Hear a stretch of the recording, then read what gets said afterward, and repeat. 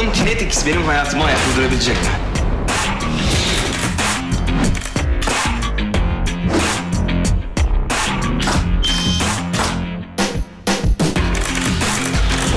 Bize her gün Kinetics.